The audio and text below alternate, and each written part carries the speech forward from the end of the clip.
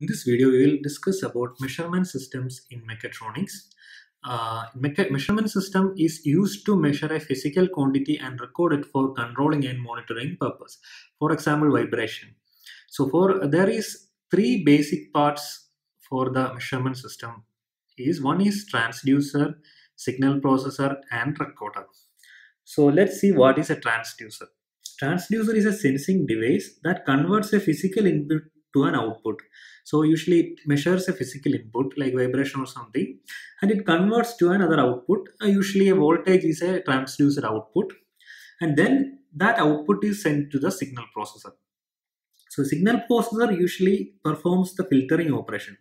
Whatever output we are getting from the transducer that filters it and also it will amplify it because the output will be very, very minute the voltage. We have to amplify it for further conditioning of the output we got from the transducer. That's what signal processor does.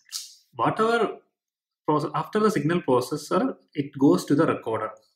So the recorder it's an instrument or a computer and it simply display and maintains the sensor data for online monitoring and subsequent processing.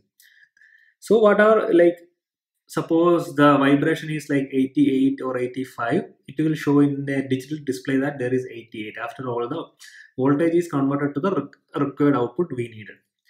And this output is used for further as a feedback system for further controlling and all those stuff.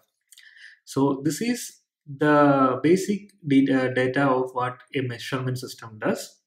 Once more it is used to measure a physical quantity and record it for controlling and monitoring purpose. Thank you